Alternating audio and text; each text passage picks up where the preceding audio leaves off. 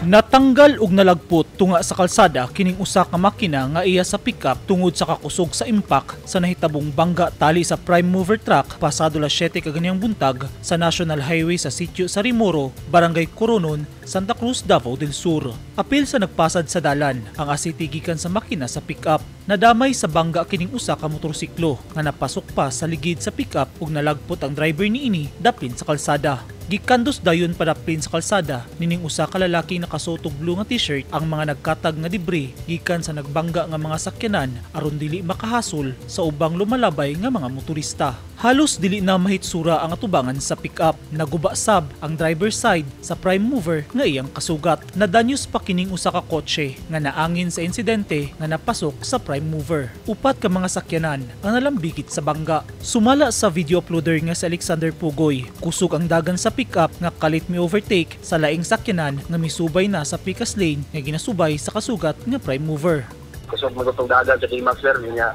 Sugat sa kuan ba? Sugat siya sa premover. Siya magoy ni kawat sa lane ni sugat siya sa lane sa premover niya pag impact nila nilabay siya dito sa iyang right side yung outer lane kung na igo po niya ang kuan ang raider Mhm. Yang prime mover po sa pagkusog sa impact na igo po niya ang outer lane po niya nga side igo po niya ang abansa kusog ang dagan natanggal gid ang makina sir ikaw na na kuan na labay sa kuan pasada Mhm. na nagaswaso pa ganit Matud ni Alexander, miawas sab ang krudo sa truck kay natagak og apil ang tangki niini ug nalangkat ang beam ug steering gearbox tungod sa impact. Sa inisyal nga investigasyon sa Santa Cruz Police Station, padulong sa Davao City ang pick-up ug motorsiklo samtang parehong naglawig padulong sa Digos kon southbound area ang prime mover og kotse. Nawad-an matud pa og kontrol ang driver sa pick-up.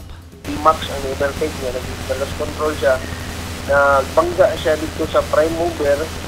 Then as a result, mo na to, ah, domino effect na ah, after sa impact na nabangga na ang prime mover dito sa Avanza niya ang, ang katutong D-Max nabangga po siya, nakabangga na po siya ang another vehicle which is ah, Patay diha-diha ang driver sa pickup nga gilang usa ka Lee Van Clint Flores nga residente sa First Cramp Bataan Street, Tigus City. Daling gipangdala sa Provincial Hospital ang mga naangol nga sila Shelo Merto nga driver sa Prime Mover, Alexander General nga driver sa motorsiklo, usa ka security guard nga taga Kibawi Bukidnon ug Romeo Dagundon Taklob nga nagmaneho sa kotse nga napasok sa Prime Mover, 28 anyos, PDEA agent ug residente sa Island Garden City of Sabal, Davao del Norte. Miresulta sa bugat nga dagan sa trapiko ang insidente ug nakadilatar sa biyahe sa mga motorista gikan Digos paingon sa Davao City. Pahimangno sa otoridad sa mga driver nga mag-amping kanunay sa pagmaneho aron malikayan ang susamang insidente ug aron dili makaangin ug laing kinabuhi.